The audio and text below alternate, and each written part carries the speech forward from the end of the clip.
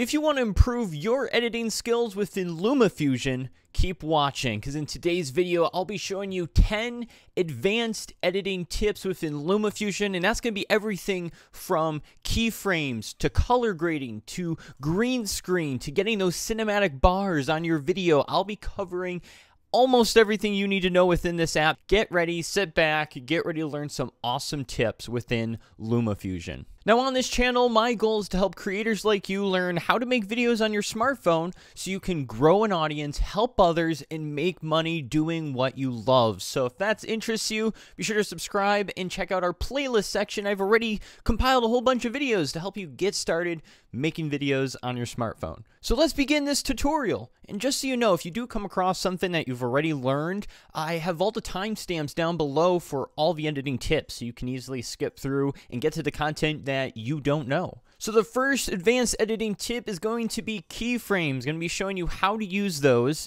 And basically what keyframes are is the ability to move text or an image or an object from one point to another point. So let's go into my iPad here. I have a mouse hooked up so you can see what I'm clicking on.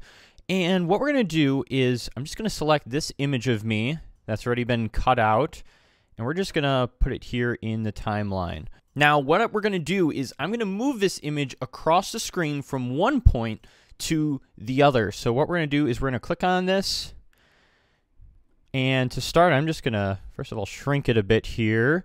We'll say about that size, and we're gonna start it off the screen. So I'm just going to scroll over and leave it there. Now, on the bottom here, you'll see these plus buttons. These are the keyframe buttons. So what we can do is I can mark there with a keyframe, and you'll notice there's a blue circle there in the bottom left.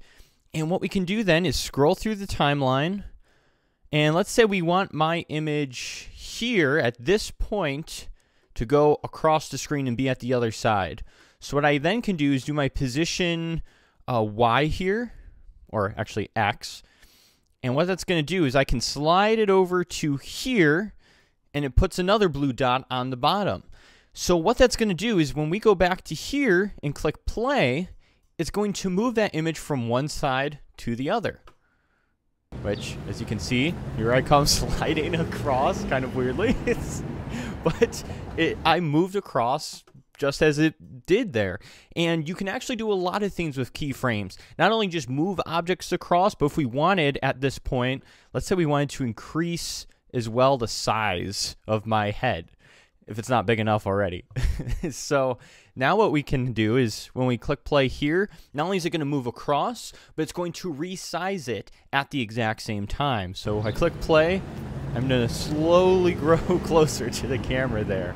So you can do a lot of different things with keyframes, uh, whether that's moving text across the screen or uh, zooming in and out. You can do a lot of cool things with keyframes. It offers you a lot of different uh, cool techniques that you can do. And actually, I'm going to show you guys some of those cool things you can do with keyframes with our tip number two, which is the copy and paste feature. So let's just first just delete the weird Collin image there. and we're going to go into this other project to demonstrate the copy and paste feature. So in here, so what I have going on here with keyframes is, well, first I have a transition here of just slide up. And what it's sliding up is this. I just designed this white square. And then what I did was I went over into frame and fit. And I actually cropped it. I went into the cropping settings here, cropped it down so it's just this little white square here. And then what I did was I used keyframes to make it go from one side to the other. As you can see there, it slides across.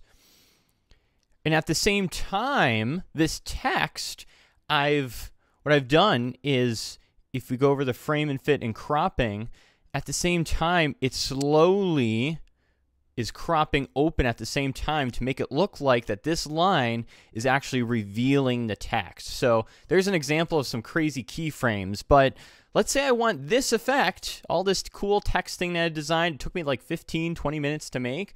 I want this in another project. And that's where the copy and paste feature comes in really handy. So what I can do is if I click this select button down here, click that, and then I'm going to select everything I want to move. So I want this whole text effect to be put into the other project. What I can do is go down to the clipboard.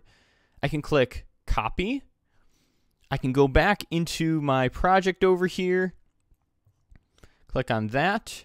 And then what you need to do is just go to the end of your project, go to the clipboard, click paste. And there we go. We have this text effect in. And all I have to do is select it all again here, like this. Grab it. Scroll it over to where I wanted in the beginning here. There we go. And now when I click play, I've got my cool text effect into my timeline. So copy and paste, huge, awesome feature that you have. So you can make all these different effects or whatnot in different projects. You can copy them and paste them into other projects. Or if you even want to move different clips that you did in other projects, copy and paste right into your timeline. Awesome feature. Advanced editing tip number three, we're going to look at color grading.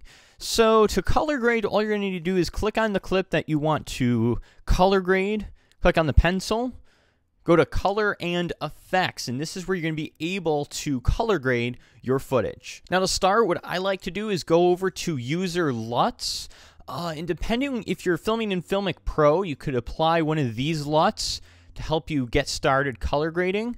And then there's also a blend feature where you can adjust how powerful the effect is. And they actually have a few different cool filters and whatnot you can apply. Maybe I like edgy, and then I can adjust how much that effect is applied so I can get it just right. And you know what? We're going to stick with Veggie. I like kind of how this looks. So I'm just going to blend it a little bit there like that. And there we go. And then what I'm going to do is go back over here just to this color option. I'm going to click on original. And here I'll have access to all my settings to do color grading. Now I'm not going to sit here and pretend like I'm some kind of color grading expert because I'm not, but what I like to do is just kind of mess around with a lot of these knobs, see what I like. Uh, me personally, I like things with less contrast because more contrasty it is, it's just kind of, I don't know, everything seems kind of blown out, but I like it more of a fade on it where there's just a little bit more of that gray fade. Uh, so we're going to do that. I'm going to increase some saturation because I do like saturation and color, some vibrance. And then you also can access your highlights and shadows and control those as well. Now, also up above, you have access to some different fun effects. Uh, vignette is one I use quite a bit. Uh, you can control the intensity, make it a white vignette or a black one. Uh, I always like a little bit of vignette on my in my corners because I feel like it looks nice. But you also have access to just a lot of fun, cool features in here. Uh, blur effects. You can do different pixels and swirls and whatnot. Uh, and you also have access to green screen, which is something we're going to be getting into in a little bit. Now, once you're done color grading, what I highly recommend is to click this plus button in the corner and save your preset. So we can name this, uh, let's say, Summer Flowers. Now, if we had more clips, and I can save it by clicking the plus here, and there we go. I have the preset saved. Uh, one I have here is bread bedroom not so pink. I name my color presets weird, but you can have them saved so that way if you have more clips, Let's say if I had a second clip like this, which we'll actually just duplicate this real quick. So let's say I had a second clip here where, oh, now I have to go back into here and do all the same color grading presets. No, because I saved the preset, what I can do is then click over here, presets, summer flowers, and there we go. I have it applied. And that's pretty much color grading in a nutshell. So tip number four, let's talk about adding cinematic black bars to your video. So there's a few different ways you could do it. Uh, you could always import an image, but what I like to do is click on Edit, go over to Size, uh, Frame and Fit here. I go over to Crop, and then what I like to do is just crop down on the top, maybe 10, and then crop down on the bottom 10. And there I go. I've got the black bars. But what I can also do is if I want those black bars to be bigger, let's say I want them at 20, I can easily adjust it to 20 and have those really big black bars. And there we go. Now I have the black bars on my video for a cinematic type look. Tip number five, I'm going to show you how to add social media logos with PNG photos. So sometimes you want to throw up your Instagram right on the screen. I'll be showing you how to do that here within LumaFusion. And what you're going to want to do is go ahead and open up the Chrome web browser. And what you're going to want to do is whatever you want to put up on the screen, whether it's Instagram, Facebook, etc., uh, you want to search whatever that is followed by PNG. And what that's going to do is pull up photos that don't have a background. And the way you can make sure that's the case is because, let's say we see this image, it looks white as the background. If I click on it, it changes to the white and gray squares. That's how I know it's a real PNG photo. There's a lot of fakes out there like this, where it already has the background of the white and gray. It's usually not a real PNG photo. So to make sure it's real, it should have a white background. When you click on it, it's going to switch to those white and gray squares. And you'll find a few different variations out there. So then what you're going to do is when you find one that you like, you're just going to click on it and you are going to save that image to your gallery and then we're going to go back into LumaFusion. So then what we're going to do is click on that image and we're just going to import it into our timeline here. Extend it a little bit. We're going to decrease the size. And as you can see, there is no background on it. It looks nice and sharp. I can move this over here to the corner. And then what we're going to do is add our text, overlay title. Click on that, drag it over here if it wants to cooperate. There we go. We're going to edit our text here. I'll add my Instagram handle. There we go. And then what I'm going to do is make sure I can see both the Instagram and this. So I can line it up like so. There we go. And then what I like to do is I'm just going to zoom in here real quick is I like to go over and add transitions instead of doing keyframes for some things. Uh, so what I'm going to do is click the plus, add, transition. I'm going to scroll over and do the same for this Instagram add transition. And then what I can do is click on the transition. I'm going to click presets and I'm just going to scroll down to slide up. I'm going to do the same for the other one. Click presets, go to slide up. And then what's going to happen is when we click play here, it's going to slide up and show our Instagram. Which brings us to tip number six, which is how to add green screen effects to your videos. Now, YouTube is a gold mine for tons of green screen videos. So what I did was I downloaded a screen recorder, which there's plenty of free ones on the App Store, or a lot of phones just have screen recorders already built in. So I went to YouTube and I screen recorded this green screen subscribe button video and what I'm going to do is trim it here just so it doesn't show my iPad screen recording it. Uh, right there. I'm going to trim it from behind as well. There we go. And then what I'm going to do is just drag this over of this video of me talking. Put it right on top like that. I'm going to go to Edit. We're going to go to the green screen effects. We're under color and effects here. Uh, I'm going to click on green screen. And You'll have to adjust the settings over here just to get it right, so I'm going to do that now. There we go, I got it right. And then what I'm going to do is go to size and position. I'm just going to decrease it a little bit. Also, looks like there's black bars here, so I'm just going to crop those out. There we go. Back to size and position. Put this down the bottom here. Back out. And now we have the green screen effect over our video.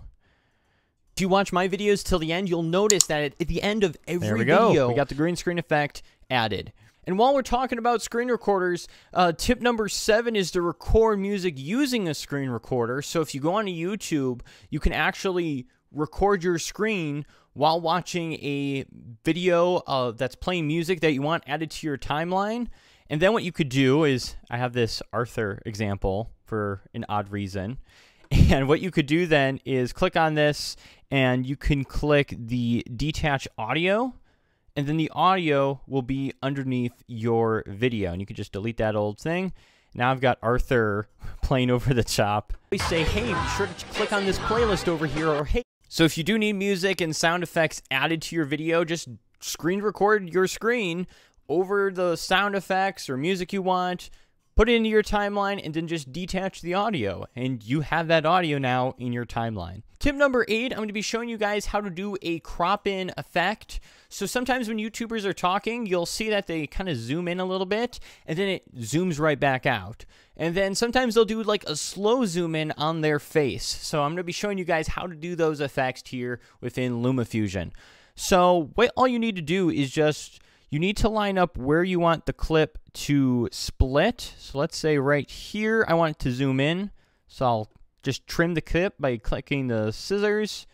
I'll scroll over to where I want it to zoom back out. I'm to click split again. And then what I'm to do is this middle clip in between where I've done the two splits, I can click on the video, click the pencil, and then all I'm to do is just zoom in a little bit like that back out. So now when we get to that spot where it splits, we'll zoom in. So here we go. At the end of every video, I always say, hey, be sure to click on this playlist over here, or hey, be sure to go watch this so video in. next. And I promote and it zooms back out. I do that effect a lot. But let's say instead of it doing that, maybe you just want it to zoom in. So then all you have to do is what we can do is just fix this back to normal by double clicking on our settings. All we have to do is click a keyframe at the beginning and then at the end of where we want the zoom to end, we can just zoom in as far as we want it to go.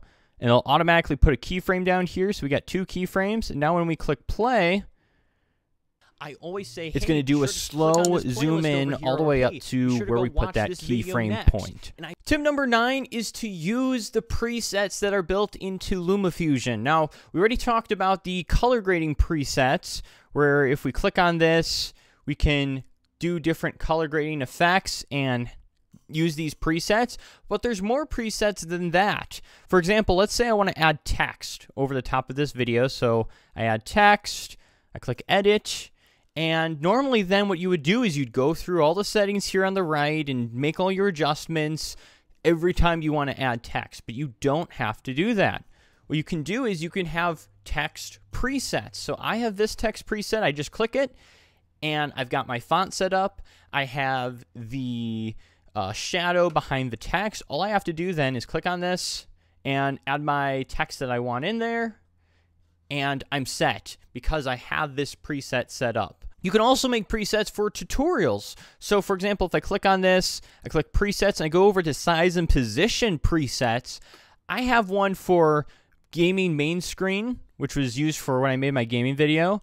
And then I also had the react position set up. So I could easily, instead of just having to crop in my screen every single time whenever I do an iPad video or having to do set it up for the main video, I could just have these presets set up and be able to boof boof real quick without having to do so much editing. So when you do color grading or you do make text, be sure to save it as a preset so that way next time you don't have to go through all the work of redoing all your settings and setting it up again. And finally, tip number 10 is to master filmmaking because you can only do so much within LumaFusion with editing, but if you improve your video making skills, it's going to help your videos so much better. So I actually have two videos here. One of those is if you're a smartphone filmmaker, be sure to check out our How to Get the Film Look with Filmic Pro. Uh, if you're someone who wants to make YouTube videos, I have a video over here showing you how to film yourself on your smartphone. Go through all the steps on how you can get set up. So click on one of those videos if you want to continue watching and learning more. And thanks for watching this LumaFusion tutorial.